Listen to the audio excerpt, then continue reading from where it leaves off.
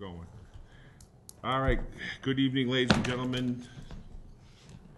Ooh, we're right on time. I'd like to call this meeting to order at, uh, I'm gonna call it six thirty. It's January 9th. It's, uh, nineteen degrees outside. It was minus ten degrees when I woke up. So, we're in the, where it's winter time. I would say this is our, really our first meeting of winter. What do you think? First time it's kicked in. First time it's kicked in. All right? Let's just hope like it was last year where we had two weeks of minus degree weather.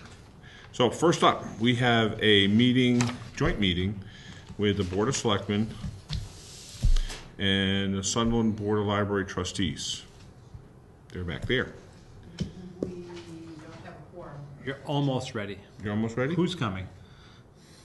Okay, that's fine. Hold on. We got, we got other stuff that we can do. Yeah. So as long as you don't mind waiting, um, we're gonna keep rolling, okay? That's. Tell me, tell me when you're ready to go. All right, uh, minutes of twelve nineteen. We try to stay functional. No fooling around on this board. Uh, Motion on those. Digging them out, Mr. Chair. Hang on just one second. All right, got me.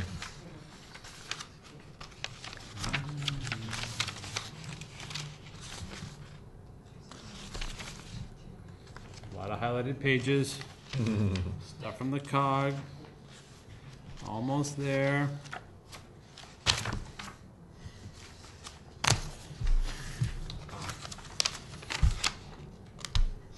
I'll second the motion.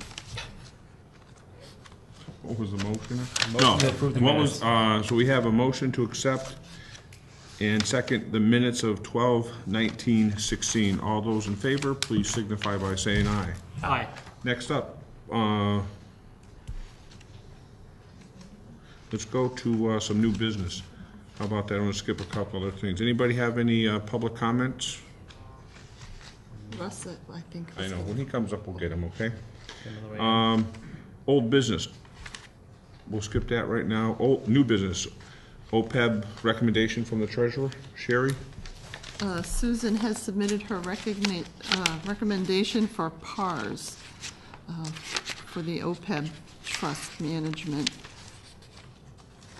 Okay, Scott, is- David? Is, is PARB, is, is PARS the It was in the sequence of events. extension, extension of, Vanguard asset allocation, so not the state version, not the print? not the state, no, they, um, don't do the reporting and the, um, oversight that PARS offers, which, um, was a plus for Susan. Was PARS a higher cost of operating based on our level of participation?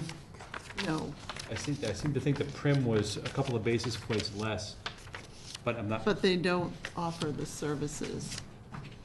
okay, so the value of the services, I guess, would be the question. Again, we're talking about going into OPEB for less than a half a million dollars total. Yep. So you start whacking away at tenths at that point, and suddenly the return over time becomes a real issue for our Would you like to talk to the retirees. treasurer? Right, because it eats away your return Right. with those What do you high think? basis I, points. I could certainly, I could certainly take this up with the treasurer. Okay. um, Only, and I don't wanna hold it up, but I understand the, the drive for getting it done. Another week is not gonna kill us, Scotty. Yeah, that was, Yeah, that was no, my we've waited concern this with one of long. them, was they were really high. the And I say this against the backdrop of the PRIM actually getting beat up in the Globe recently about Okay. losing, you know, fifty-four million dollars and cashing out of, anyway, it's a whole different discussion. I'll talk to, if it's okay, prerogative of the board, I could certainly reach out to the treasurer collector just to understand again, uh, the basis of the recommendation. David, you had Yep. some concerns also, right? Yeah, Yep. Um, could you give uh, Sherry a list of those so she can uh, relay them to Mr. Bergeron? Okay. And Scott, you wanna wrap the board on, with, uh, talking to, uh, Susan? And again, it's, it's, it's, it's a function of just math. They're all in the same business, but they're in business for a reason. Yeah. And find out, find out where the, rec- why the recommendation, okay? Got it. Thank you. All right, next up, um, FRCOG DLTA twenty seventeen request. Sherry? Uh, The DLT request, um, what I'd like to focus on this year is the um, economic development, um, it- with a kind of a look at ecotourism. Uh, Reinvigorating the um, agricultural commission was another one of the, um, let me just grab this. uh, was another one of the things that they're offering, so um, as far as that goes, just looking down the line here, um, I'd like to um, look at uh, creative, creative, uh, agricultural commissions, assist towns who want to establish or reinvigorate an ag commission. Um, The master planning um, and with a, a look at economic development and ecotourism as priorities. Not Sure if the board had anything else in mind. The community food assessments would probably go along with that as well. I, I can tell you why we disbanded the Ag Commission before. How's that?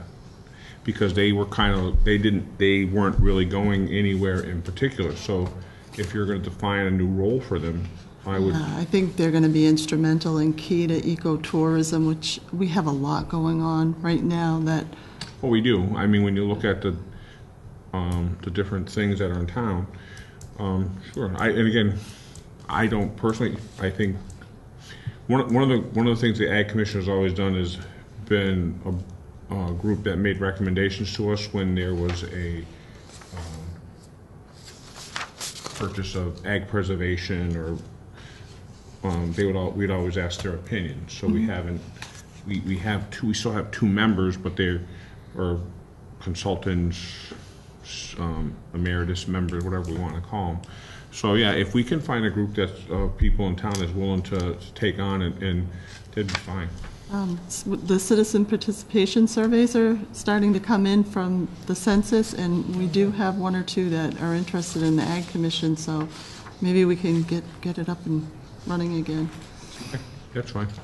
Scott, any comments on that? Uh, Mr. Chair, if I could, globally about the DLTA, I think, s- s- uh, circling back to the Ag Commission, I think with the amount of uh, emphasis in the uh, agriculture community here in the town, and the fact that Massachusetts was just ranked, I think, number Number five five, I in saw the that. nation Yep. uh, for sustainable agriculture, although in some large land mass areas, they call what we do here gardening.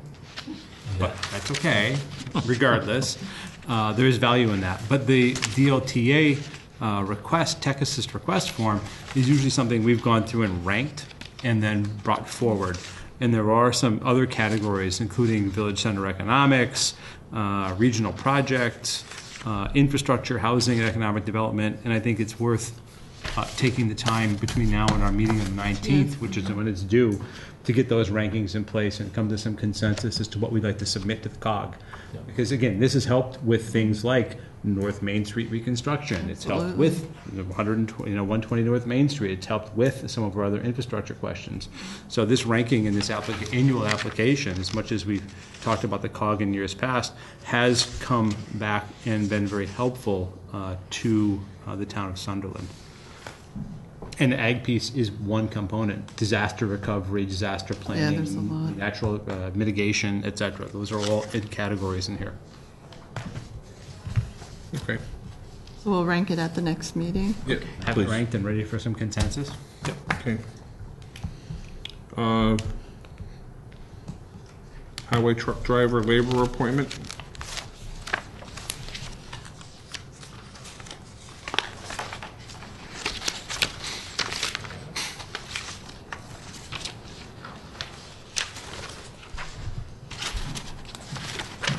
Do we have a letter from George and all?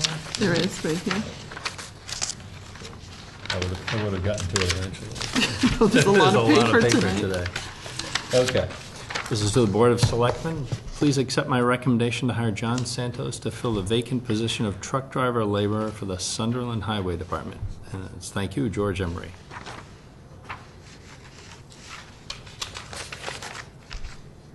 Okay, questions? Motions? Um, Move to appoint uh, Mr. Santos on the recommendation of the highway superintendent, and that is for the position of driver laborer for the town. He brings uh, experience in uh, neighboring community of Pelham a number of years, graduate of UMass, EMT certification, not a bad thing to have, and um, that's all, Mr. Chair. Okay. Have a second? Uh, second. Have a motion made to appoint Mr. Santos. All those in favor, please signify by saying aye. Aye. Sherry, three zero, please. Um, Go up to uh, Board of Selectmen updates. Mr. Bergeron? All I have, uh, Mr. Chair, is that this uh, Friday, the 13th, dun dun dun. Anyway, we have the, uh, Wait, wait, wait, our producer is supposed to do that. sorry, Producer, producer, director, writer. add that right in. Pete Griff. Uh, Get we- that we- button he hits with the we sound have, effects. uh, All right, We have the uh, Marina opening- wouldn't, Marina wouldn't have missed She, that. no, she would have had it right in there. I know. There'd have been a black cat already. Elena Elena would have done that too. She would have- She would have been queuing us, actually. Had to do it, yeah. Um, we have the opening for the uh, request for proposal for design and engineering for the 120 North Main Street that's happening up at the Franklin Regional Council of Governments up in Greenfield. It's in the afternoon, and uh, that's a public bid opening, and uh, Lauren's uh, the chair of that committee, so thankfully she's here to keep me honest about it. But that also, I want to say, just culminates one step in a phase, and hopefully we attract a whole host of uh, interested bidders, including designers and architects and developers, excuse me. So that's cooking. And Happy New Year, everybody. Lauren, you want to weigh in if I could? Well, uh, assuming that there are respondents, which we're opening, there will be, that actually should be, then it will come to a meeting of the 120 North Main Street Committee the following week, and then to you guys, back to you guys to accept someone, and that should, have a bidder that, uh, or or bids to select from, then that's done deal. Start moving these forward. So keep our fingers crossed, so Brandon. I, I would, I would add that, um,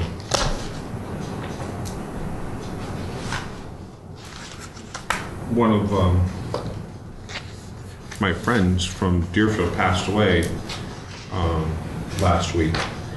And Betty was, um, a strong supporter of senior community housing.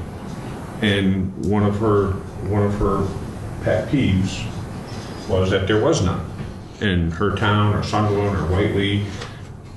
And I'm saying, what I don't know, I'm just saying what that's what she had said. Um, and, and then I know residents in our town that had to move out of town because there was no senior housing available to them also. So I'm, I'm glad that, um, it's easy to talk, especially in a political year, it's easy to talk about, to do things, but then to lose it by the wayside, and I'm, I'm proud that, um, the people that started on that housing committee, that senior housing committee, um, and they came on for many different reasons, are still active, and they're still following through the, the, the process. Um, and their, unfortunately, their one-year appointment has stretched on longer than that one year. Um, but we all know things don't happen overnight. And I, I drove by, I drove by 120 the other night after returning from the, uh, um, wake, and I looked at 120 and felt good about our town. So I just want to thank the committee, Lauren, Scott, and the rest of you, um, and, and for the town for actually supporting it at that time. I, I do think it's something that we need. I, I think many communities need that, and sometimes we forget. So uh, I, I hope Friday goes well. Um, we know we know stuff has been picked up, um, and now just wait and see. So, and then, then the process of sitting down and actually reviewing everything is the important part. So, so I'd just like to thank the 120 and the town for all the work on senior housing because it is important. Scott, I would say, Mr. Chair, that there is a, uh single, uh, a single driver uh, behind the wheel, and uh, the little engine that could is the rest of us, and that driver is uh, uh, Lauren. She does great work. It's a, a treat to walk on the committee, or at one work on time, that I, committee. at one time, Scott, I heard she could sell ice to an Eskimo. I heard that once. All right, Mr. David. Uh, we had a really good, what was it, two-hour meeting last Tuesday um, with the FRCOG and the uh, Pathways Committee doing our complete streets prioritization. nice. So it was a, it was really good, but our priorities put together for that. So I think uh, we can get rolling with that, which is good, so. Yeah, the public presentation will be on the 23rd, the board's next meeting. Nice. So that'll be, that'll be a nice uh, opportunity for folks to get involved with that, uh, that piece of it. And um, also close with our solar. Yeah, Just, if you've driven by, there's a lot of snow over the panels right now, but uh, I don't know, did they give us a date yet for the? they haven't- Yeah, I didn't think, The activation notice was for Monday, and they were able to get in. I don't know if they actually commissioned today or not, but the reality is they met the January 8th deadline. so, it's good. Finally, seeing that go live will be really a, a long wait, so. Library will like that. Library like that, yeah.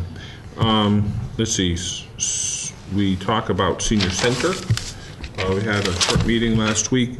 Uh, we actually have someone now that's, uh, that was hired through a grant of an outreach coordinator, uh, actually going out and, and trying to talk to people and, and, and spread the word about the senior center.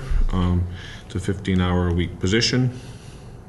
Uh, So I think we're gonna have, it, it should get the word out to those that don't know what we offer. It should hopefully be, be doing a better job about doing that. And the South County EMS, um, it's amazing the work that the, uh, the paramedics and the EMTs have accomplished over there in such a, a very short time. Um, the, um, the, we're still offering, um, response time averaging around seven minutes and less. Um, the, the equipment on board the ambulances, um, the training that the guys are, the men and women are receiving, um, has, has proven to be, um, life-saving to, to some people.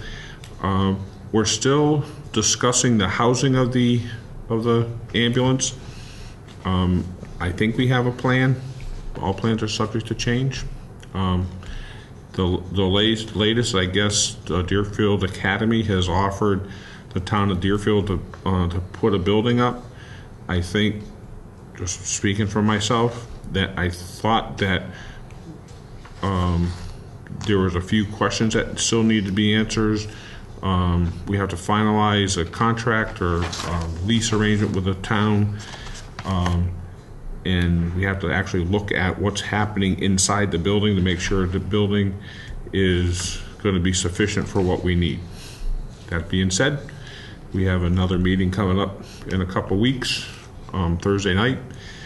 Probably the best entertainment in the town on those meeting nights, so if you care to come and watch and listen, we're more than, more than, uh, we're more than happy to have your, uh, uh, attendance and comments. Because I sometimes I think sometimes I think we and we were kind of having a conversation about this earlier um, but sometimes we don't listen enough.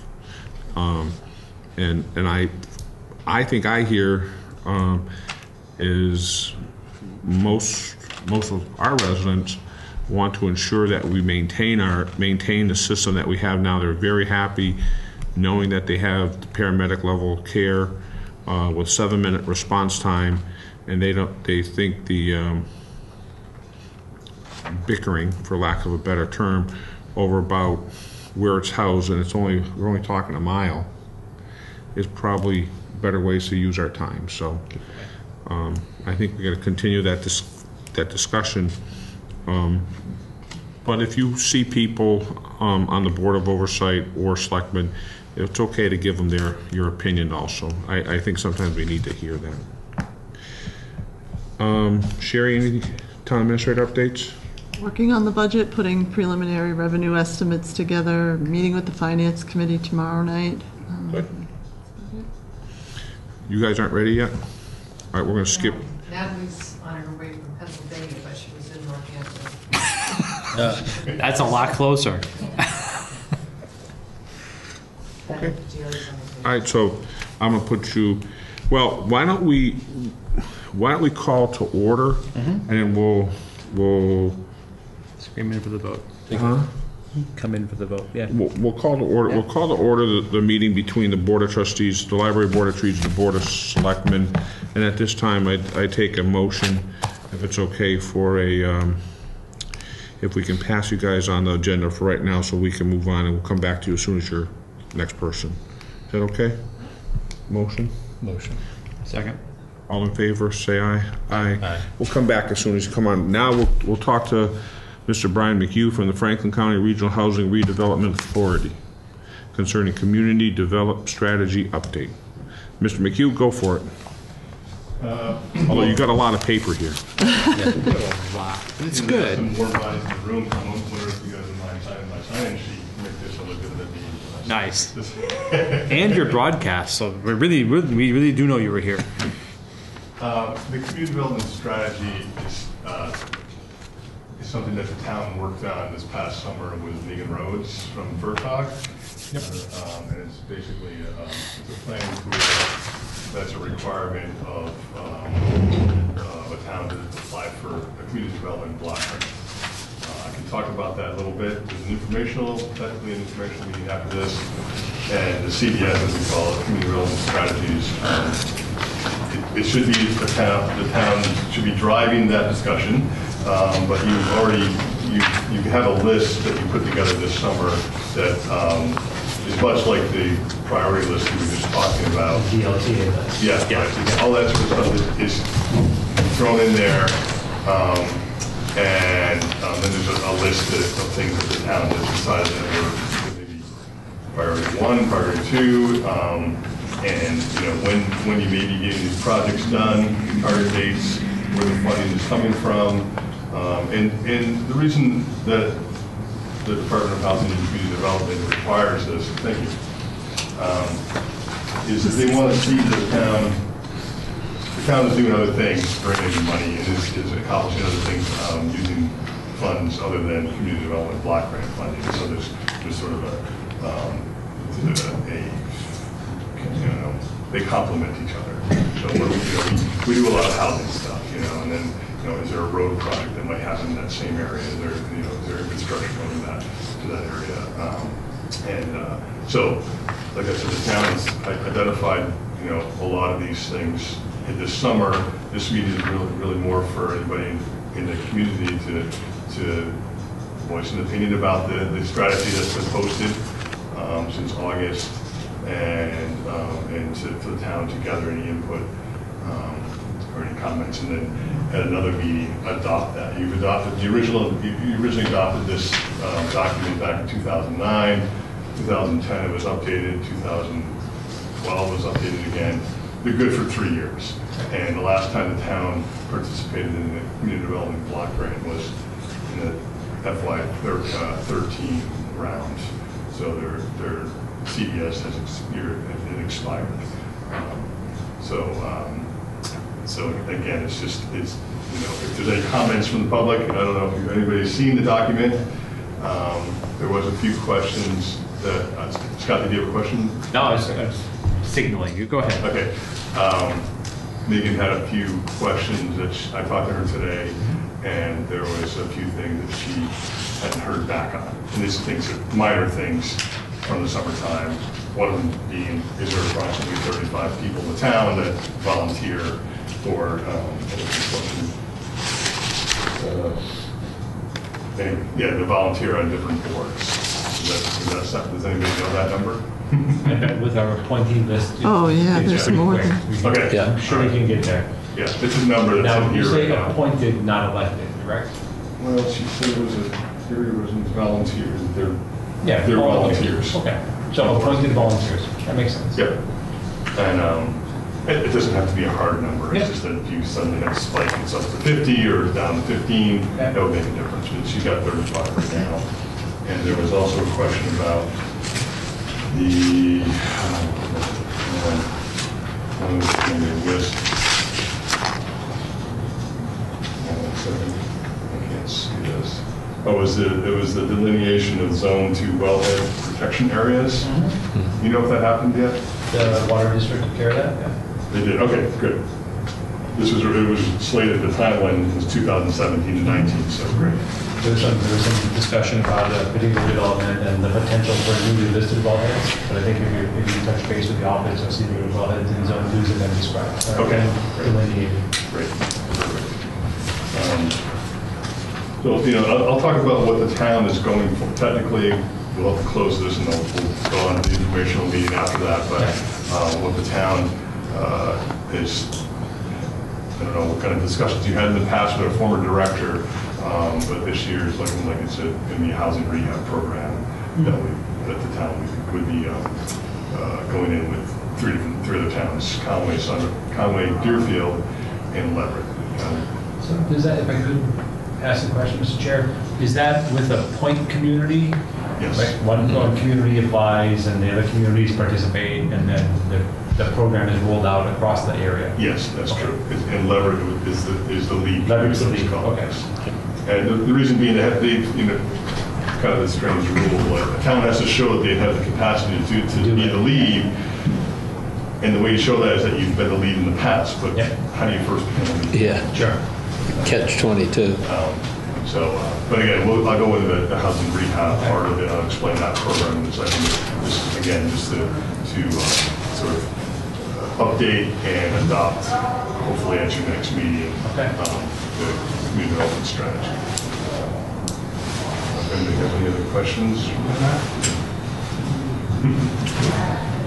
It's, you know, we had hoped, there was word that they were gonna drop this, this requirement for the, going forward, starting this year, um, because it- a lot of people were feeling like there's, there's master plans in place, there's plans that you guys were just talking about, like how many plans do you, you need to have? And, uh, because a lot of those plans already identify housing, Same thing, things like senior housing, that sort of Overlap. thing. that, um, And, uh, and it's just another plan that oftentimes looks similar to what you already have, so. anyway. Um, So that's, that's that part of it, and again, you wanna, this is the person from the library? Okay, you do, we'll go to, go to her, and we'll do the, do the other one after, my information will be after. Sound good? You chair? Although, that's not my, that's not my decision. Okay, thank you, Brian. Yep. Library all set? Yes. Okay.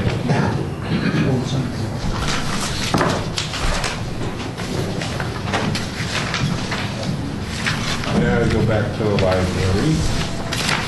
Library had a resignation on, on the board,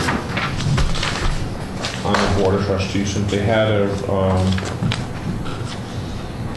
resignation to replace it, we, by Mass General Law, need to, um, Mass General Law, Chapter 41, Section 11, we have to have a joint meeting between the library trustees and the Board of Selectmen. So right now, we're the BOS, BOLD, Board of Library Correct. Trustees. BLTs. Bolt. Bolt. I'll want to hold the seat, I know, but So, so, so, so, we are, in, in fact, right now, well, what I gotta do first is, you need to call your meeting to order. We call the Library Board of Trustees meeting to order. We have a quorum. Um, at this time, I'll say that Sherry is going to take minutes for you also, That'd be great. because you have to, you have to create a set of minutes. I think our minute taker would appreciate that. he's not even appointed. There you go. So, No, David, David. all right, so, so Sherry, if you could, um, create a set of minutes for them also. Um, so could the, uh, members of, for Sherry, could the event members of the library trustees identify themselves for the record? I'm Beth Berry. I'm the chair of the Sunderland Public Library Board of Library Trustees. Lauren Stark. Jerry Bridwell. Natalie Blaze. and David Wisman.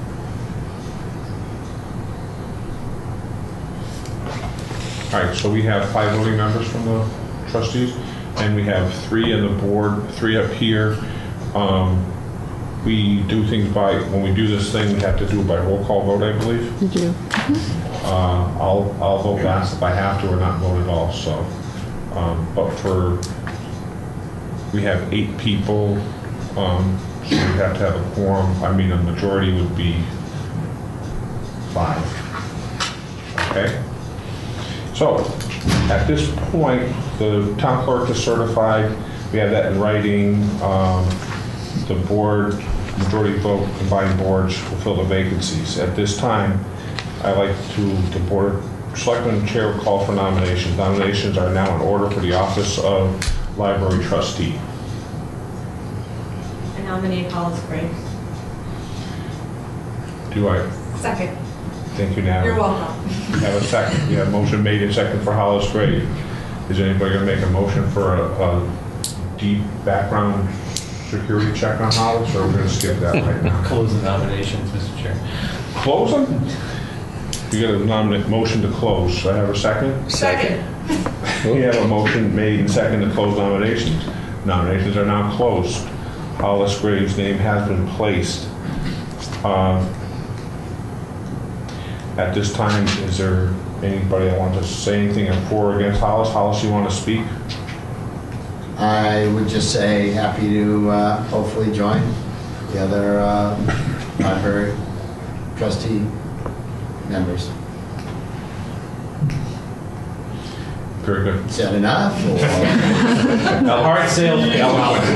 Eloquent. That was eloquent. So, what Sherry, what, why I'm stalling, okay, there's a reason I have to do this, because Sherry's putting together the alphabetical list of everybody here. Because she's gonna call a roll call by alphabet, so there's no distinguish, there's nothing to distinguish Board of Selectmen and library trustees, it's just done by roll call. So while, while we were making small talk, after Sherry. I was taking- How am I doing? Am I doing okay? Good. Are we all set yet? I think so. Had I known that, I would have said said more. You could A little more build up. You guys could give us a soliloquy, but, all right, Hollis. All right. Um, are we ready? Yep. All right, so hearing no other further nominations, at this time I will ask uh, Sherry to roll call. Beth Barry, Yes. Um, Natalie Blaze, Yes. Jerry Bridwell. Yes.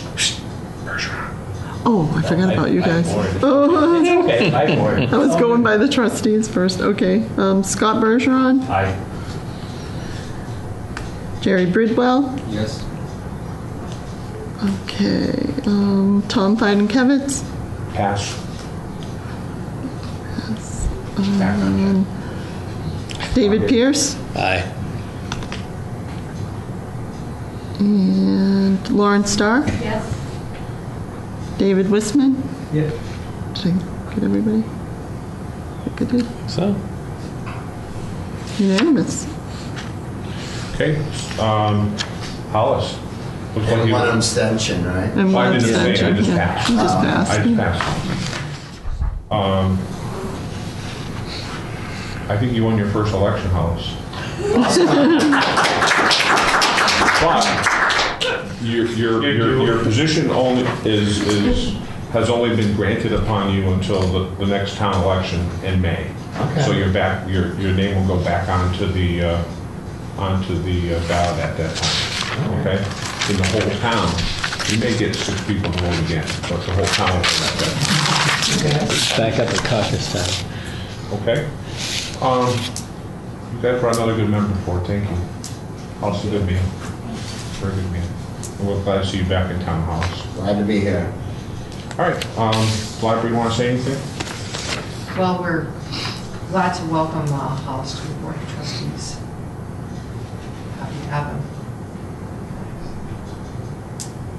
Okay. At least for now. Oh, yeah, Is that- to know him. You can cause a stir between now and May, Hollis. Yeah, he, he, he he has, he has some, uh, Got a little he has some good, he's got history and background that, uh, should, should help him out a lot. Um, I guess we'll probably, s- go ahead. Ken, uh, we'd also like to take this time to thank Richard Packer for his service on the board. Excellent. Ri- Richard, uh, very, Richard gives one hundred and twenty percent in anything that He he's does. with, so, uh, Absolutely. He was, he was a great, I'm sure he was a great member for you as well.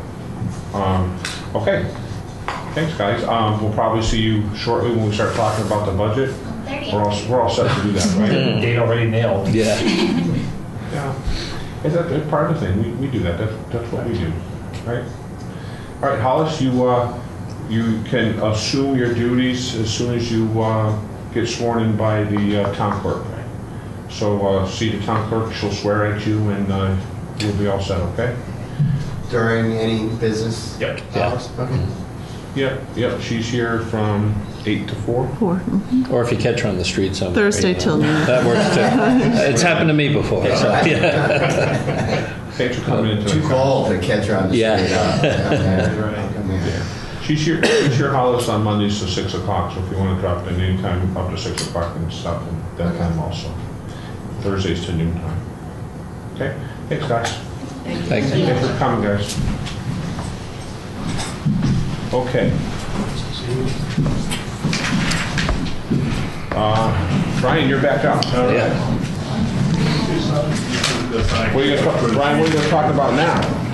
It's sort of the meeting that we're holding, uh, which is uh, the community development library. All right, you Just know, the, you come on, sit down. You decided you were here. Night, Natalie. All right, so while we're waiting, Dr. Lane, do you wanna talk? I, Go ahead, Dr. Lane. I need to apologize for coughing as I walked in. Dr. Lane is talking as part of our agenda that says that, um, um, public comment.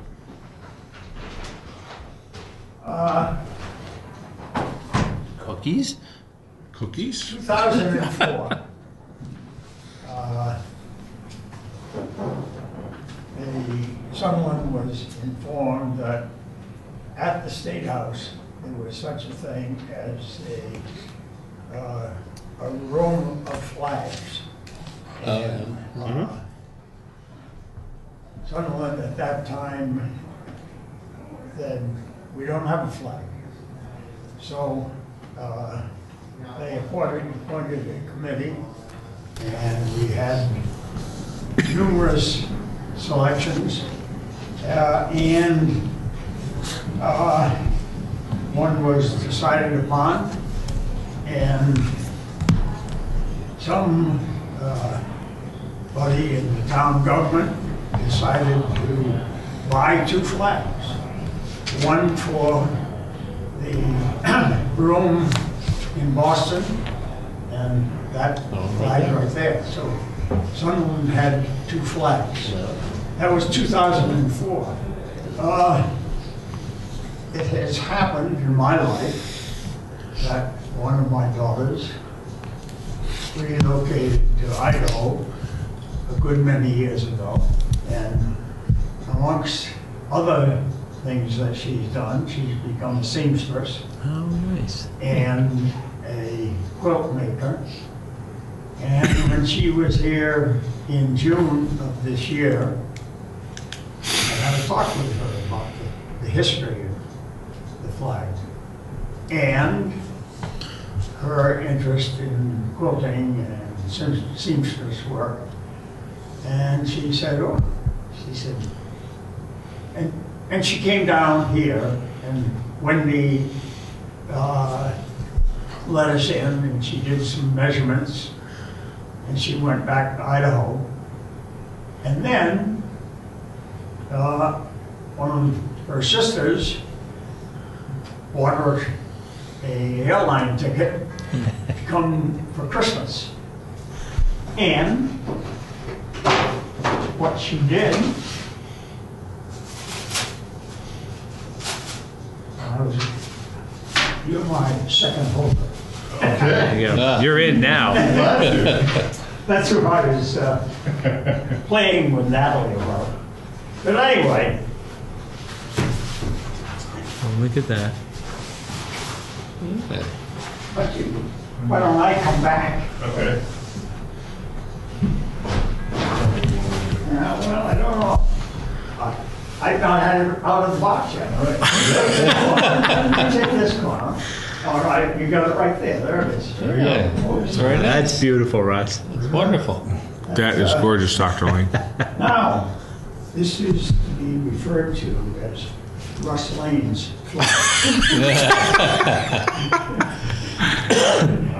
What happens to it, uh, eventually, but I, I said to Sherry, I uh, told, spoke to her last week and uh, said, I, I'd like to slow, show the select, uh, I, because I think it's a, I think it's a tremendous uh, thing that daughter Nancy did, and, uh, you know, it, it may find its way here. That's brilliant. Thank you very much. That's a, she did a wonderful Heck job. of a for us. job, exactly right. She did a wonderful job. Didn't it? It's gorgeous. Well, that one was missing for two weeks while she photocopied it. I said, that one was missing for two weeks, Russ, while she copied it. One section at a time. Did a great job. That's gorgeous. But I shall, uh, with my next communication There you go. with her, I shall say that uh, it was presented to the select Sure. board and, uh, uh, Well, you know, one of the things, Russ, was, was it, it's, uh, it's interesting, like, when we have functions, like, um, the local parades, like, we went to the Hadley Parade a few years ago, and the Amherst Parade, we did the Mohawk, I mean Montague Parade, and we're gonna have a few coming up for, in the various towns. But it would be nice to have a, a second flag that we could actually get out there. I, I, I would love to have you approach me. Yeah. Uh, And to the extent that I can, Yeah. I'll, A, provide it in person. Sure. or- But, but I think the one thing I would like to say uh, is uh, that the Board of Selectmen took a vote endorsing this flag. Okay, sure. I think we can. uh, Wanna make a we'll motion, Dave? motion, and also uh, Me- thanking the seamstress. Uh, and We'd also like to thank the seamstress very much Oh, I- for all, for her you want me uh, to do that, fantastic or do work. you want to? Oh, no. Well, we're gonna take care of that. We'll, Yeah, we'll yeah, ask Jerry to get your, some addresses and stuff, but, Yeah. But we'll just in also the send. motion, I wanted yeah. to get that thanks. Yeah, I just, you know, it's, a s- it's thrilling. to me. Yeah. It is. It's really nice. And you- and you guys, you guys know that I sort of live on the history of the town. That's A right. little bit, a little bit. I'll second, I'll second the We motion. have a and, uh, motion made and seconded. Um, Any discussion? I would just add, Mr. Chair, to the motion that uh, uh, correspondence to uh, not only Dr. Lane, but his daughter Nancy for not only the, the um, quality of the work, but for the initiative. Yes, I agree. the intent behind it, yep, it's wonderful. All those in favor, signify by saying aye. It- Aye. It's interesting, when she was Three here zero. in June, Yeah. uh, to get the right colors. Yep. And Yep. everything, Yeah, uh, we had to go up to New Hampshire. to get the. Oh, no way. Yeah, For the raw material. yeah. Yeah. Yeah, yeah, there were a couple of stores Yeah. in Keene Yeah. that, uh, and then there's also a place in Greenfield. Right, Right. Oh, yeah, yeah, that fabric. the textile Yeah. store. Yeah. Yeah, It'd be nice to get a picture on the website, maybe too, if we can. And maybe a little, it'd be nice to get a little picture on the Yeah, website of that. And great maybe a point. little explanation for people who don't know what, What it what the actually different means. colors represent and everything, the- you know? Scott, green could, is Scott, could you, farmland. could you and David hold the flag with Dr. Lane? Yeah. And I'll get a picture? Yeah. That's a good idea, David. we're gonna get Yeah, I think it'd be nice. That was a very good idea, David. Why don't- why don't Scott and I hold up the flag? I'm kidding. You can actually, please do. No, I'm not gonna. What am I thinking? You get in there. Yeah, there you go. I would offer, but I'm terrible. Probably be in a way we can hold it in that fashion. This way here, Russ, you're, you're, I can hide behind it, you could be in there, you can definitely be in there. Perfect. All right. Dr. Lane? Here, another up here, ready? There you go. One more. It's about two hundred degrees next to this brother right here. Yeah. Wear your vest, right? Yeah, that's nice. But I noticed, Appreciate it. uh, this, this adjustment, can you see if if the, the tree has any adjustment up there? I don't know if it's just like solid. and No, it's got the, It's, it's got the, it's got It's the same thing. it's got the three little numbers in there, yeah? Yeah, it's got some. Yeah. it's Yep. got- Yeah, yeah, all right. Do you want a handful of them? No, I, Could you restate the motion for the Well- record, please? David, you got the motion again? I, you, uh, you Motion, have to know how much, uh, fun this has been for yeah, Good. that's great stuff.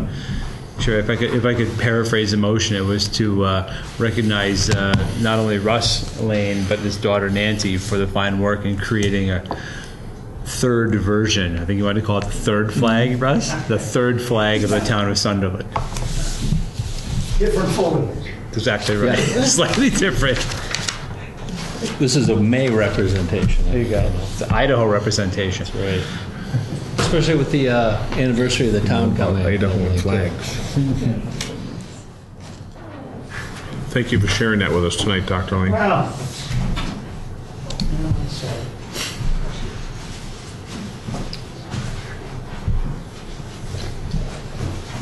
I'm glad we did it. I'm glad you folks are pleased. That's brilliant work. Does she, does she, does she do requests? For the CD. Does she do requests? It's beautiful seamstress work. Oh, yeah. Uh, It's, it's a, uh, a family issue, but she made a burial Oh, sure, for my wife, sure. which Yep. went with it. Yep, nice. which-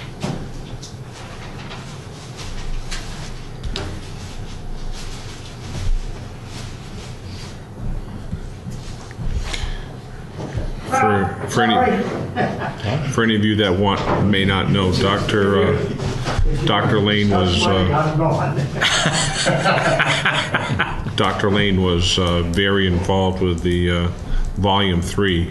Uh, He was one of the, the main cogs of getting that going back when it first started, so Well, he is, he he is a history buff. I wrote the uh, warrant Yep. on it. Oh, yeah. Yeah. My uh, first committee is with Dr. Lane. The planning board, Dr. Lane was our cross the T, dot the I kind of guy. No, no, Oh, yes, yes.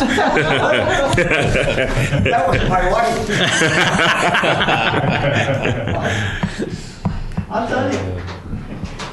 Thank you, Dr. The Lane. reason, the reason I can pay my grocery bill is that uh, she knew what she was doing, not money. There you go.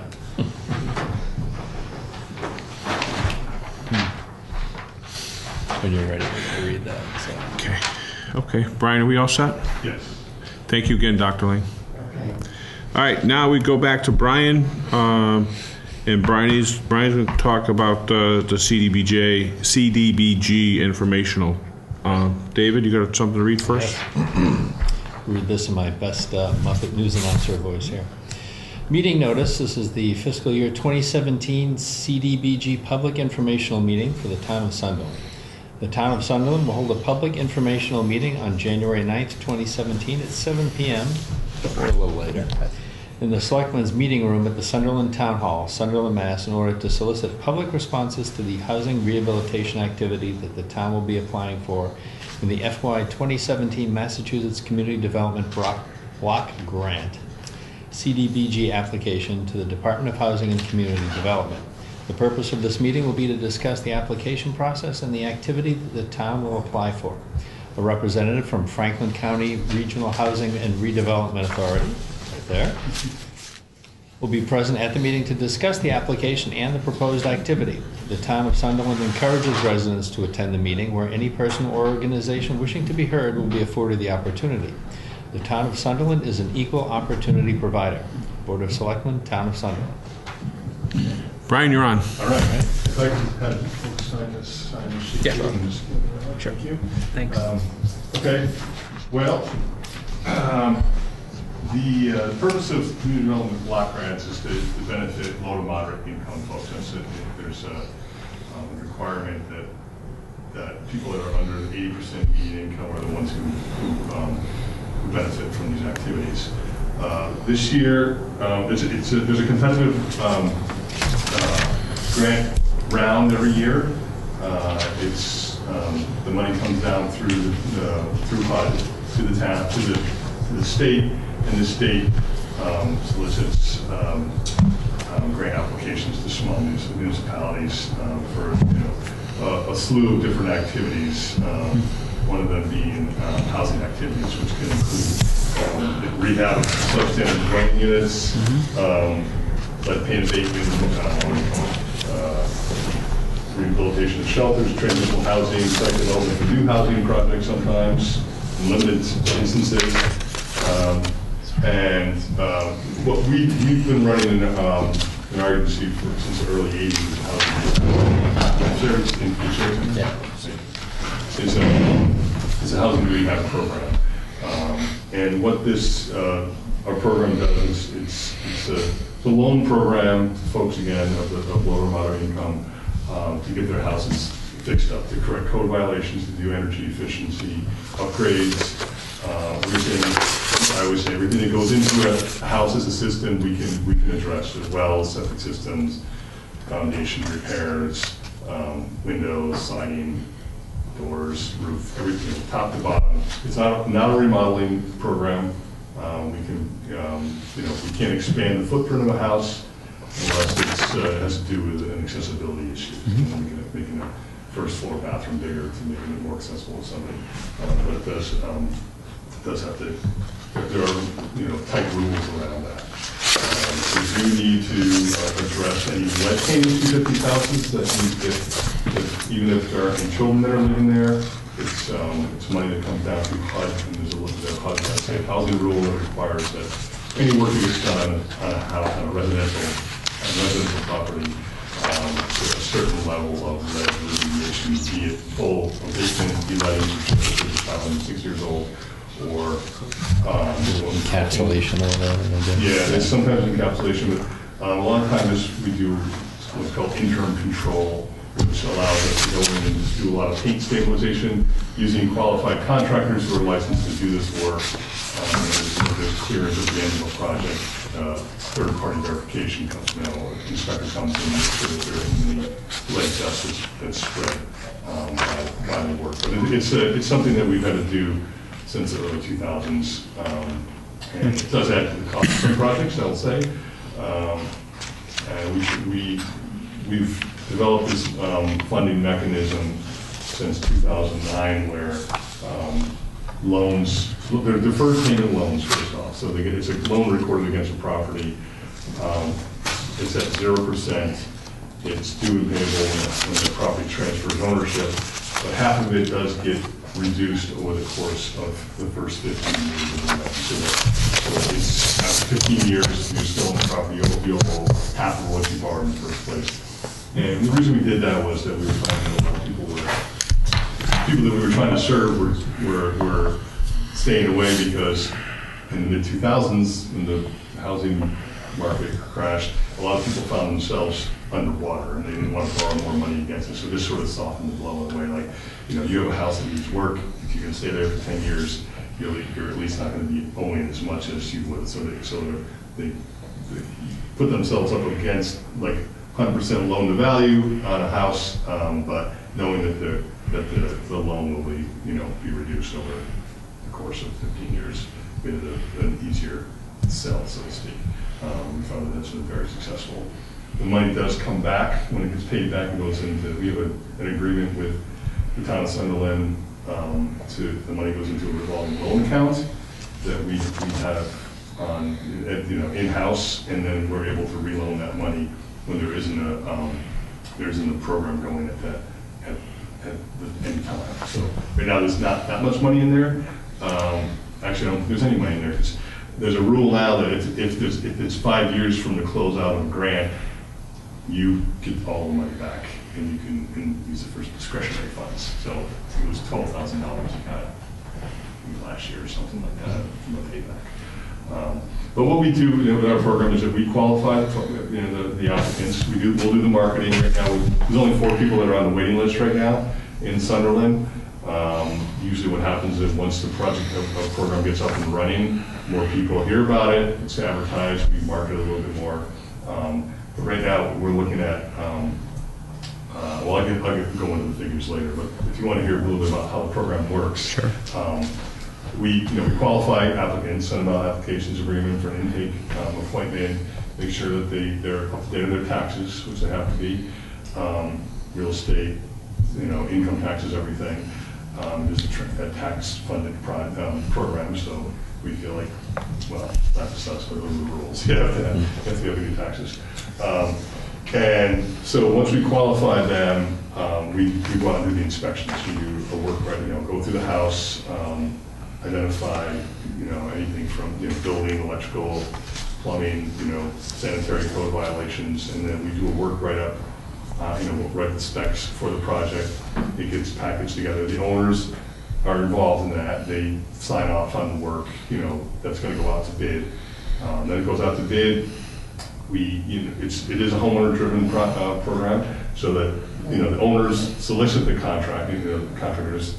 Uh, we do have a qualified contractor list that we give them, but if they want to use somebody outside that list, they can, as long as they're licensed and insured and their references check out. Um, There's a, you know, put, the- we have a bid packet put together, these are due usually in four weeks' time, and then it's, um, you usually have to go with the lowest qualified bidder unless there's a a compelling reason to, to throw out a bid. Um, And then uh, we do contracts, and then we do loan closing with the owners, and then notices to proceed go out to contractors, and then we oversee the project as it goes along. The, the- the contractors send invoices to us, we go out, do the inspections of the work, and then the owners sign off on that work. So if there's any issues, then, um, you know, we wouldn't have them sign off on it. We tend to be the liaison between contractors and owners. If there are any issues, you know, it's just the nature of the beast. Sometimes, you know, things go wrong. And um, our, our role is to be that, that go-between. Um, So we'll, we see the project through, and in the end, we um, require that any of the municipal officials or lead inspector or whatever, you know, boards of health have to sign off on the project depending on what the nature of the project is. Um, So this year, we are looking at, um, uh, you were, I should say, you were, you were looking at uh, going in with the four towns I mentioned before, you guys, Deerfield and Conway, with Leverett being the lead. Um, We've, you know, we've had meetings with them, had a meeting in Deerfield Wednesday night. Um, And the way it it it pans out right now is that we, um, it's about, it's nine hundred and forty thousand dollars is what the, the total grant would be spread out amongst the four towns. And in Sunderland, it would be six, our goal would be six units for two hundred and forty thousand dollars. And it's a breakdown, breakdown of the other towns, so exactly what they were. Um, There would be five in Leverett, seven in Conway, six in and six in Sunderland. And those, those numbers, you know, we, we base those numbers on, who we have on our waiting list. We're only, for six in and we only have four on the waiting list right. In Conway, we might have nine people on a waiting list, and we're, you know, so it's, you know, we, and we also look at when the last time a town might have gone through the program. But Conway hasn't gone through the program in at least 10 years. You know, you guys were part of a 2013 grant and 2010 grant. So, um, so there's, you know, sort of spread the wealth out, you know. Sure. and, Could I ask, could I ask, Mr. Yes. Mr. Chair, just one, one question? So I appreciate the participation component, but if I look at the total, and I wouldn't want to leave uh, grant monies for something like uh, housing efficiencies, in particular for uh, low and moderate income housing, on the vine somewhere in a program. But is there uh, information that's gleaned from either housing production plan or from uh, the town economic and demographics, how- total number of units, total wages, total number of retired citizens? You know, we struggle a little bit, and I, I'm going to back into my, Yeah. my, my piece about this. We struggle a little bit with getting particularly proud seniors to sign up for a program who might well benefit mightily, but you, you gotta, you gotta push them in. Yes. So we look at it, we look at the towns that you've mentioned, and you look at the total number of housing units, single and multifamily up to six, and you say the town of Sunderland, it does okay by, by total numbers, but you also look at our demographic and the demographic of people who would participate in that, minus the rentals, of course, Yes. uh, tend to be a little more resilient, shall I say. Resistant or? resistant? I would say resilient. So, you know, a little tougher and a little, when I say tougher, I mean maybe a little more um, reluctant to participate. Yes. So I look at a town like Conway and I look at a town like Leverett and I look at a town like town of Sunderland and I go, well, how does it actually spread out? Yeah, I mean, we, we look at all of those. We, we do, like, every town has, up to this year, there's what's called a community-wide needs score. Got it. Okay? Yep. You know what that is? Yep. Okay. So, um, they, they dropped the community-wide needs score. Half, Okay. the- half the community-wide needs score used to be the, the low to moderate income number. Yep. And that was like, you could get thirty-five point seventeen and a half. Right away, it weighted the whole thing. Yeah, yeah. Yeah, and so, you know, Sunderland, I can't remember what it was, but honestly, the, the, these towns are, are, are high-scoring towns. Right. You know, and it gets, it's, so they dropped, the, the needs score had five indicators, and I don't want to bore you with all of it, but it had, it had to do with the LMI, the, the age of the housing stock, how much, you know, per capita, you know, um, what the levy is on per capita, you know, tax levy is, those sort of things. And they've scrapped all that, and they're just going with the LMI numbers. now. Okay. I think that's the number that's gonna mean anything, Got it. you know? So we did a composite, you can get up to ten points now, we did a composite of the four towns. We'll get eight points, it'll, because it'll be, it'll be a weighted average Okay. based on population. It's by rolling them all up into the one application. Yeah. Got it. Yeah, so, um, I can't remember what some of the ones, I should know that. It's okay. But there's a, there's a composite, we're gonna, we're gonna lose two points, but Mm-hmm. There's only twelve towns in the, in the state that are giving full ten. Sure. So- sure. So eight's not bad, you know, on the scoring level there.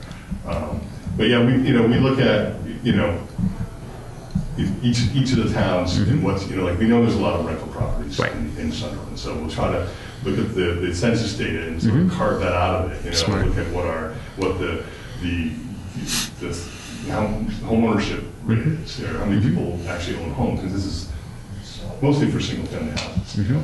Investor owners can get into this, but there's a, more restrictions, there's affordable housing restriction that goes along with it for fifteen years, and it's been a real detriment, a lot of, we hardly do any, any mm-hmm. investor-owned properties anymore hmm. because of that restriction, so. uh, hmm. But yeah, we do look at this, and, you know, it's like, we're, we're not just pulling numbers out of a hat. No, no, I understand. I- It was, to me, the, it was, it was part of the, the churn that turned up to the aggregate I was trying to drill down Okay, on. yeah. That's all. I, I think, one- to me, and I'd just like to mention one second, a lot, lot of time you hear low mod, people don't understand what that means. And just, just so you get real quick, family of one, if you have one person own a house, you have an annual gross income of forty-six thousand dollars, you would qualify for the program. Family members of two, fifty-two thousand six hundred dollars, three in the family, fifty-nine thousand one hundred and fifty dollars, four, sixty-five thousand seven hundred dollars. So we're talking, you know, what your definition of low mod, sometimes may, a lot of time, we found in the past, people may not consider themselves low mod with the numbers. that's true. And, and that's why I think it's important to look at the numbers. We have five family members, it's annual gross of seventy-one thousand. Six members is seventy-six thousand dollars. So I, I would say CDBG, what we haven't said so far is that a CDBG, um, and I have known residents that have received it, if, if you have a, an issue, an electrical issue or a plumbing issue, um, this is an opportunity to get those fixed. And, and it's really, um, you pay the loan back when you can. So, so if you don't have the money right now and you can't pay for a year or two, that's okay. It's not, the only thing you have to do is when this, the house transfers ownership, it, it has to be paid. But if you can't pay right now, that means that you don't have to go without hot water. That means that you don't have to go without electricity. That means that you don't go, have to go without a toilet. You can get those things fixed and, and it's on grants, um, and, and you pay according to your ability to pay also. Yeah, it, it, it's true. I mean, um, just back up to one thing you said, like, a lot of people don't think that they're, like, they're, on- you know, that's for low income, you know, it's like, this, Right. uh, we try not to market it that way. It's like, it is, that, you know, we try to, we, when we market it, we say, are you under this, this income? And some people are like, oh, that's, that's, that's a lot higher than I thought it was gonna be. I mean, So we try not to sort of, uh, you know, I, I don't like to say low mod because most people don't understand. Most people don't understand what that means. And when, and when Scott was talking about it before, most people don't understand what that term means. In fact, when, one of the selling points of our, our elderly housing was people didn't understand, again, what low mod meant. And, and, and, and we're under, and you can look at our, you can look at our demographics, look at the numbers. Fifty-six thousand dollars is not a lot of money for a lot of, we don't pay a lot of our town employees fifty-six thousand dollars. Yeah, right. So, So, yeah, that's, yeah. That's exactly that's the right. Point, yeah, it's like, we, you know, so again, we try not to put it out there Contrary. as such, but it's, it is what, you know, like. Absolutely. That's how we, mm-hmm. that, that, those, are that's the rules, the lower bound are in, but it, it, I agree, it's, it, sometimes it is, people just don't, they're like, that's not, that's not a program for me, Right. that's for. so I, I would tell, I would tell people that if you have issues with your home and, and you think you may qualify, you really need to talk to the town administrator who will get you in contact with the, with the, the necessary people and you can make an application. And if you don't get it on this year, there's always next year, the year after, Right. or the next round of grants, Right. um, to get done. Oh, yeah, absolutely. I mean, anybody, we- you know, people, they should call us, you know, because Absolutely. those numbers help in, uh, when we write a grant, to be honest with you. Like, we can say, we've had this Get many. more people." demand, yeah. And we keep, we keep a phone log of everybody that calls in from every town, and and what they, you know, what they're calling about. And, and we, we don't, we don't know, the selectmen don't know, the town administrator don't necessarily know. It, it's, we don't know who's getting the grants, basically. Um, if, if, if you live in a house that has a leaky roof and, and you're getting water in, and you get water infiltration, you're getting mold, please apply for the grant. Um, talk, talk, to- talk to the, uh, talk to the right people. Um, and they, we can take care of that problem. They, they can, take- they can help get that problem taken care of. It, it's pretty simple. Yeah, and I will say that, that um, the, the program is designed to, to correct any code violations that we may see when we go into a house. That's what they want us to do. They don't, can't be like an à la carte thing. Like, I want to get the windows, and there's these other things. A lot of times it's lead, lead paint that we have to deal with. I don't want to do that, I'll paint that myself.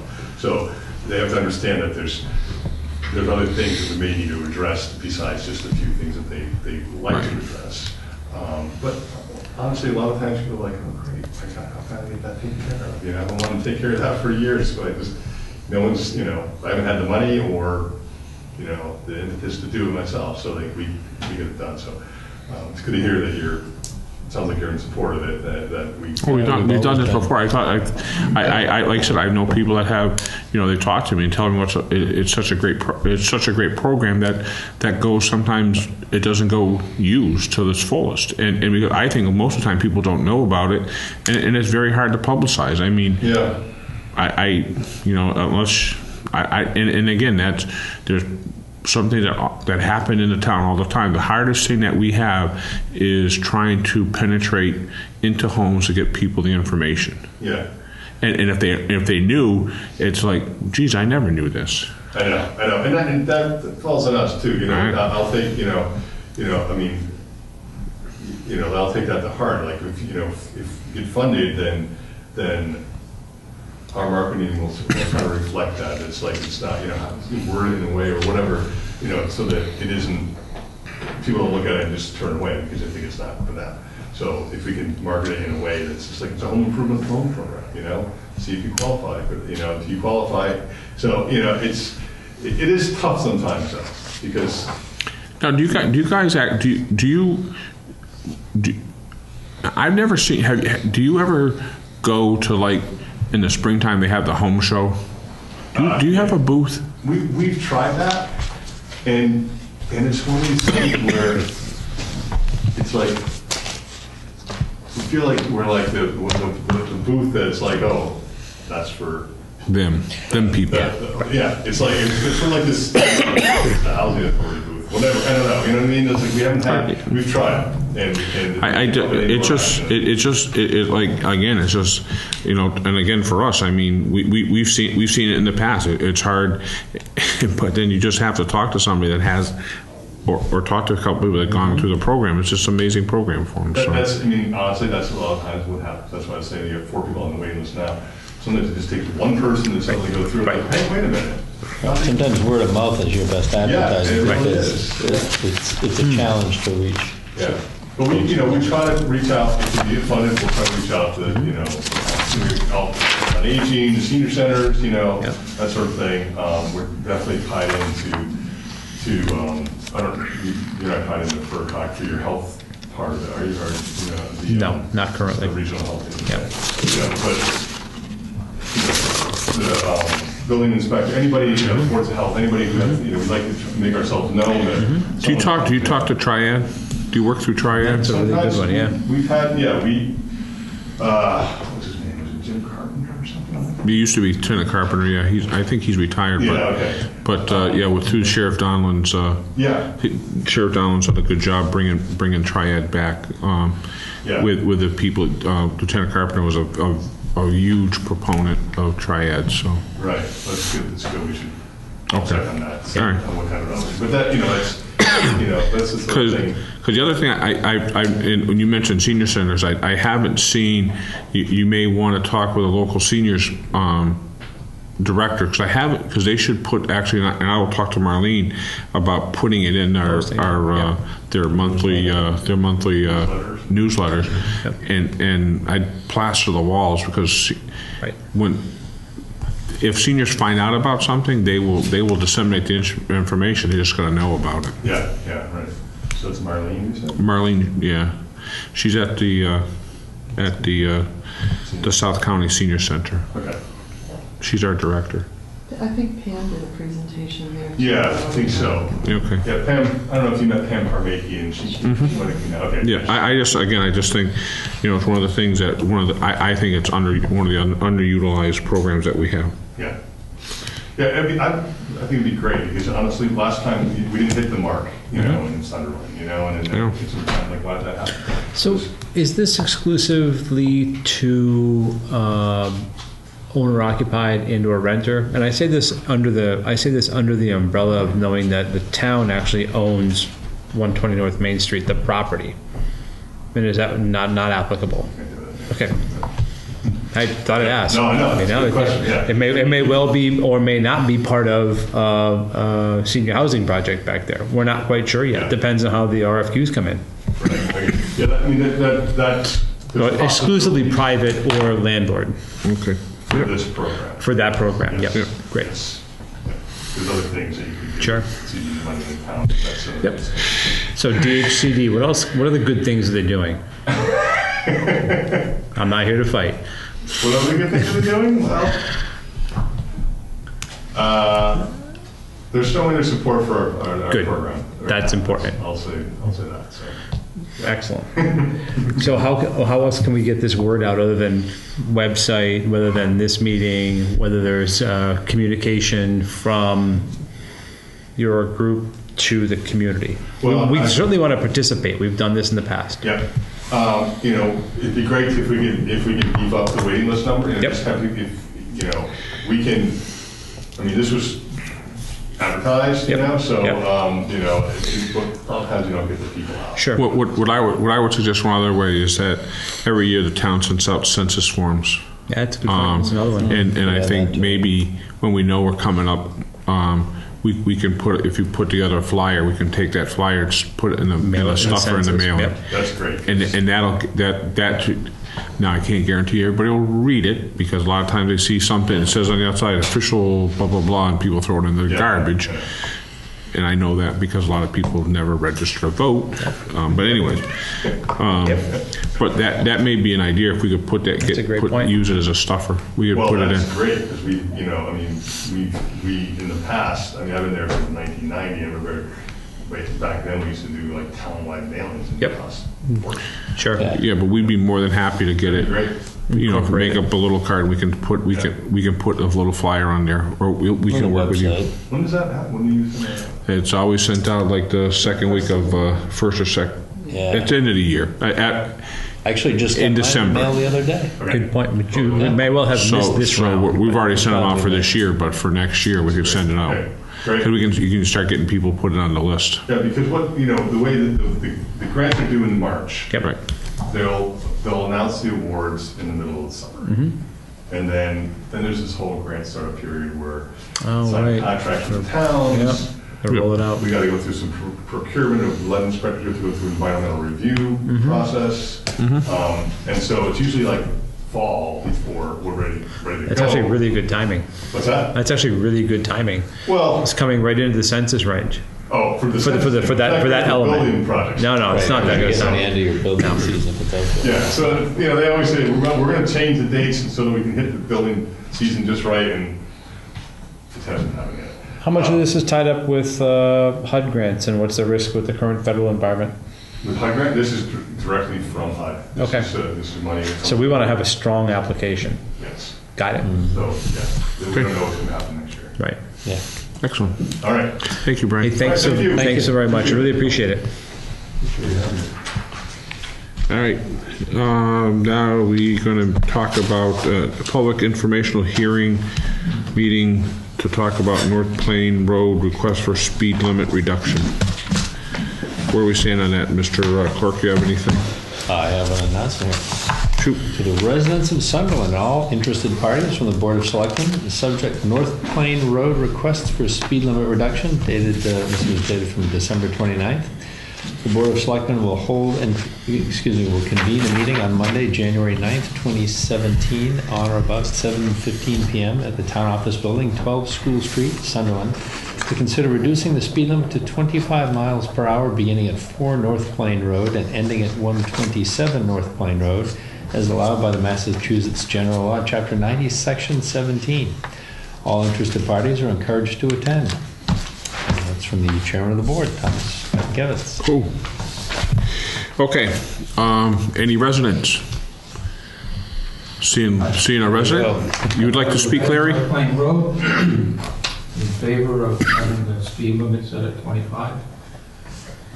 I've lived on the road over 30 years now. Um, And there's been, in recent years, an increase in traffic, both vehicular. uh, And otherwise, first, the vehicular, there's been an increase in the residents' houses along Plum Tree. And also, North Plain has become, excuse me, a bit of a uh, shortcut for people who don't want to try to get onto 116 without the traffic light there and make that left turn.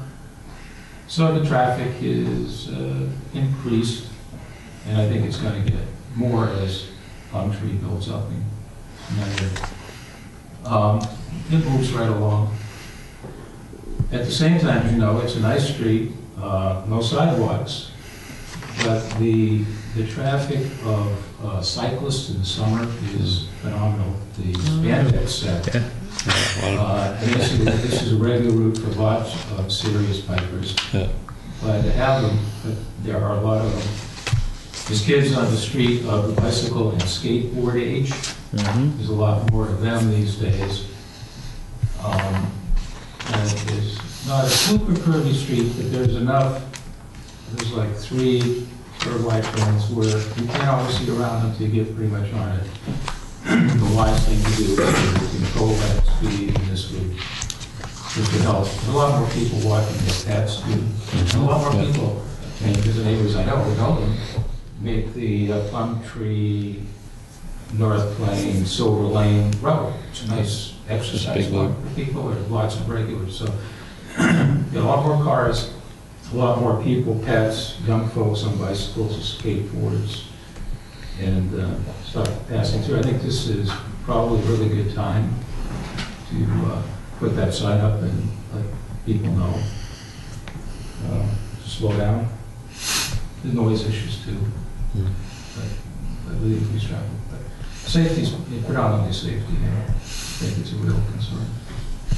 All, all of the things you just said, Larry, are, are good things. Um, I, I think is, is residents walking, seeing one another, talking to one another. Um, those are all good things. So we should, try, I, I believe we should try probably try to condone that. I just saw that the city of Boston just made a new speed limit today. Everywhere, unless posted otherwise, the entire city of Boston is 25 miles an hour speed limit. So unless you see something contrary to 25, except if you're on a state highway, uh, 25 miles an hour. Yeah. Does that include things like Mass Ave and Commonwealth Avenue? In, inside the city, under the city speed 25. limits. Yeah, so- Tremont Street, Boylston. Beacon, Half the time you can't go that fast anyway with the traffic. It's kind, it's kind of a taunt. actually. Causeway. They're, they're Go that hoping to fast. increase the speed. You know, Yeah.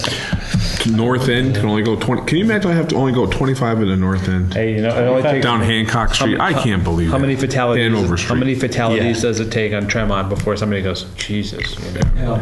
Yeah. Um, all right, so, so I was a little, Chief, we have uh, Chief Eric here this evening for a couple of things. I'll tell the second part later. But one of the things is Chief wrote us a uh, quick letter. David, you want to read that? This is from Eric Dimitropoulos, the police chief, to Sherry Patch, dated 1229. Pursuant to your request, I submit to you the following. North Plain Road has a speed limit of 35 miles per hour and is approximately three quarter of a mile in length. The houses, excuse me, the house numbers range from 4 to 127. As I stated in my previous email, this condition falls within the requirements set forth in Massachusetts general laws regarding a thickly settled district, Chapter 90, Section 17. As such, conforming with the law, I recommend that the speed limit be set at 25 miles per hour. Um, so Chief, you want to, want to add to that? So I, I've been here for a few months, and uh, one of the first complaints I got was regarding North Plain. And we did some uh, quick survey of the uh, roadway and determined that a lot of the houses fell within the thickly settled district's uh, definition of the law. Uh, Going with that, the law was recently changed November 7th, 2016. Uh, Everybody, if you took driver's ed, knew that thickly settled was 30. Uh, And this law changed it to 25, so any business district slash uh, residential 57. Um, And taking a look at the, uh, the way the the road layout was uh, and the current speed structure, uh, a lot of the road met the requirement for the 57. So that being said, uh, getting out and doing a you know, um, measure to see how far apart the houses were, uh, just to better suited than just line of uh, sight, uh, confirm that it was uh, a house within, or houses uh, congested within 200 feet of another, uh, within that quarter of a mile or more. Uh, Plain isn't that long of a road, so it really wasn't that long of a a process. So with the definitions of um, settled under 9017C, that's why we wanted to go forward with uh, recommending that. Uh, Shortly after receiving the first complaint, I did get a second complaint, uh, and advised that party that we were also looking into it. So it wasn't a quick process, it was um, about a month and a half, two months of uh, checking random speeds, and, you know, the measuring was easy, checking the random speeds to realize that the 35 mile an hour, while it's been posted that, uh, was probably in excess of what it really should be. So when this law changed in November, it was a a chance for us to jump at it and uh, and continue with it. So right now, Chief, what you're saying is that uh, on your recommendation and the vote of the Board of Selectmen, that's all we're going to need for, to uh, change that speed limit? Yes, there's certain requirements under the um, Mass DOT where you have to change uh, speeds. Uh, This falls under, like the city of Boston did, uh, for a thickly settled, so we kind of lucked out on this. If we tried doing this to uh, a different road where the houses were not within the thickly settled, uh, we would have to explain why we were doing it. And there would be a study that we would have to show radar traffic, random times, vehicles, cars, trucks, uh, TT units on one direction. And then another random time, we do another test coming the other way. And that takes a long process. Uh, I've been involved with those in the past, and they can be quite tiresome uh, and lengthy. So this kind of, like I said, fell in our lap because the thickly settled law did change, uh, where uh, following the Mass General Law, we're allowed to recommend that, and then we can notify Mass DOT that we're making that change. Um, all right, so, so you, you're able to document all of that with uh, Sherry? Um, David, Scott, thoughts? Uh, I, I, I I appreciate the initiative. I think it's very important to bear in mind that we do this under the guise of public safety. That's just not to inconvenience drivers, the spandex crowd. Sometimes those guys and gals on two wheels hustle through there probably 32 miles an hour. So. Yeah, No, uh, You're absolutely right. you know, It's a safety issue. it's a safety issue. It's important. For, it's important to bear in mind that according to 9018, that you know we may have to take to town meeting the adoption of 193 218 for a citywide. I think it's important just to make sure that we can't right that we can't just call a zone out. We have, Right, we have to adopt we have to adopt another piece. So, although this may be a one one step in the process in the one direction, just to make sure that when we bring forward, we don't have we don't get caught with some something. If we go to write a citation, that would be Exactly, something we want to avoid, exactly right. So that's important to bear in mind. That said, I think the recommendations are sound. We want to make sure that we don't miss a step. Right. Yeah, David, I would thoughts? agree, Yeah. I, I, it, it's, um, it's interesting because I, we know, we, we, s- we get our, our, unlike some, we get our packets, um, with the agenda, uh, by email. And, um, I was going through the, through the, through the agenda. Yeah. And right after that, I was uh, driving on Plumtree and a small car um, was coming on North Plain Road. Um, I have no idea what that person was thinking, but when it got to the end of the road, it slammed on its. Sure. I could see the brakes lock and the ABS start working. Um, I have no idea how fast that. If I was a police officer, I probably could know by looking at it. But I know that car was well in excess of 35 miles an hour when it slid it slid to a stop when it did. Um, and I, I think if you do, you don't, back in my, using my frontier math, um, probably would apply for Hopkins math and Smith Academy math and all those other places to reduce from 35 to 25 on three quarters of a mile section of thing will not make you late to your work. Great point. Um 'cause you, if, if, if that, if you are gonna claim that as an excuse, I can pretty much guarantee you, if you're going thirty-five on that section instead of twenty-five, you're probably gonna be late. Um, so I, I'm, I'm, if Sherry can, can work with the chief and bring us a documentation to show that we don't have to accept any mass general laws or whatever to conform with the new, um, the new law, I'm personally wholeheartedly will support the speed limit change, because I, what Larry was just, I, I'm glad, Larry, thank you for coming, because what you said is exactly what you want a community to do. You want a community that walks and, and that, that goes out together and see one another and talk, and that's, that's how a community, and actually, that's how good things start. Yep.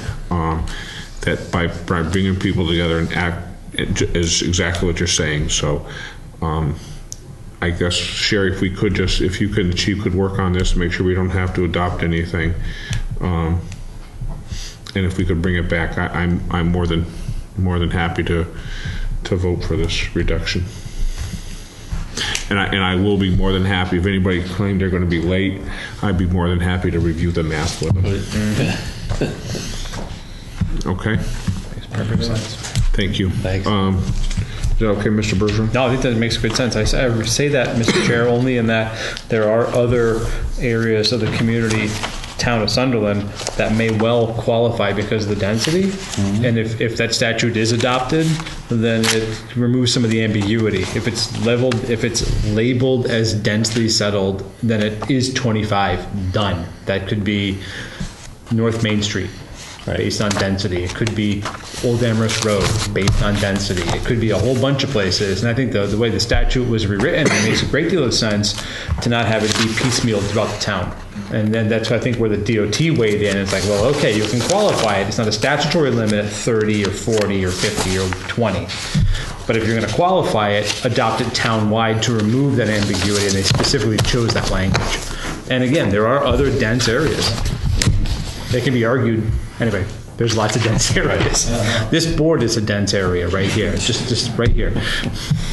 Good point. Definitely thickly settled. Exactly. All right. Anything else? All right. Since we're all done, thank you, thank you, Larry, for coming this evening. Thank you, Chief. Uh, We gotta hold on to the chief for a little while, though. Um, Anything else you'd like to add, Scott? No, that's all, Mr. Chair. David? I'm good. Sherry, you all set? All right, um, just a couple announcements. Next Monday, town offices are closed due to Martin Luther King uh, Day, so town offices will be closed on Monday, uh, January 16th. Our next selectmen's meeting is January 23rd. Um, At this time, uh, we're going to enter, I'm going to request that we go into um, executive session. The reason is that we uh, have a um, contract negotiation coming up with the, the uh, police uh, union, and so we will be talking about strategy. So we, I'm going to ask at this time pursuant to Mass General Law, Chapter 30A, Section 21.3, to discuss strategy with respect to collective bargaining or litigation if an open meeting may have detrimental effect on the bargaining or litigating position of the public body and the chair so declares. I do declare that uh, um, it would, could potentially offer uh, a uh, compromise our position. Uh, So we have roll call vote. Aye. Uh, aye. Aye, so that'd be three zero. I will ask Chief Eric to uh, attend the meeting with us. We will return to open session simply to adjourn, so we will not be taking any votes or anything after this. So um, for the camera, we will be adjourning, but we'll come back, but just to adjourn. So you can go home. Okay? Um, At this time, um, we will be in recess to adjourn, and we will reconvene downstairs in our office. Thanks, FCAT.